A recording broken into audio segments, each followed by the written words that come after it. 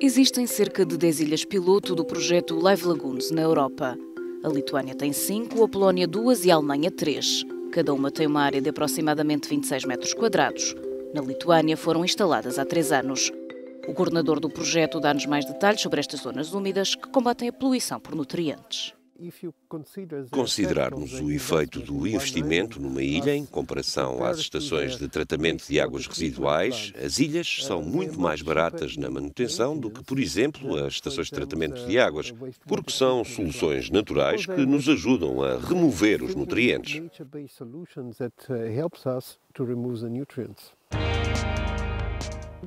Compramos um produto comercial feito de cubos de plástico.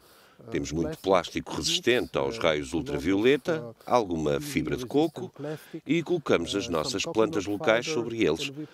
Mas no final, apercebemos-nos de que, em primeiro lugar, o preço destas ilhas é bastante elevado, especialmente se quisermos usá-las em privado.